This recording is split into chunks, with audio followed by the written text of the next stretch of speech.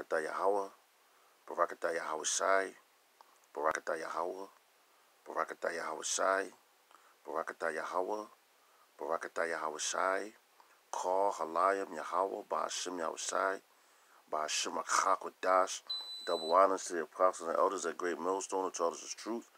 Honors and salutations to all Sasakim throughout the four corners of the earth, laboring in honesty, sincerity, charity, and sound doctrine. To the Akwathim and the children that believe on the true name of the Father and the Son, which the Father's name is Yahweh, he exists. The Son's name is Yahweh Shai, he's the deliverer. Because he's coming back to deliver us out of this captivity that we're in. Alright, my name is Mark Alaman Gab and with the Watchmen Philadelphia camp. And uh just gonna be real quick, a quick hit on on uh disrespecting the name of Yahweh Shah, man. That's something that's not taken lightly, man. You know? So the people that's running around joking and playing with the name, yo, you're going to see death, man. In the worst way. All right? Because you, you saying a name like it doesn't mean nothing. You know? And you have a lot of uh, Israelite dudes that don't even call on the names Yahweh, why Yahweh Shah. You know? They still saying Christ most most most high blessing Christ and all that. You know, yo, them dudes gonna be dealt with, especially the ones that scoffed at the name.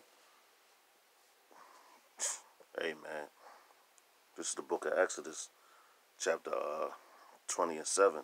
It says, "Thou shalt not take the name of Yahweh Bashim Yahushua thy power in vain, for Yahweh Bashim Yahushua will not hold him guiltless that taketh his name in vain. So you get the word vain, and that's sha'ah, sha'ah.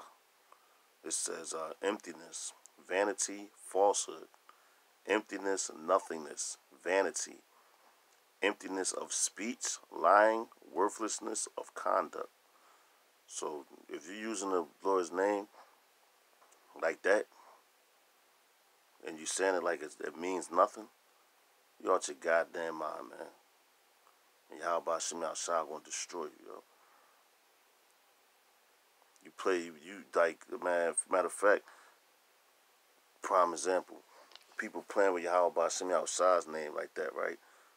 But on a carnal sense, if niggas fear men, period, like a nigga that, that you know in the hood or whatever, you know, and he shot all these people, he got all these bodies or whatever. Niggas won't even think twice about disrespecting his name. They walk on eggshells to say to say this man's name or to use his name uh, falsely. How much more Yahweh Bashim Shah's name? And he created them niggas that you think is beasts. So he's really going to jack your ass up, man. You know? Some niggas won't even like they, they, they have a job, but they won't even use their boss's name in vain for fear of getting fired. But they joke with the Lord's name. Yo, the time for playing is over, man. It's been over.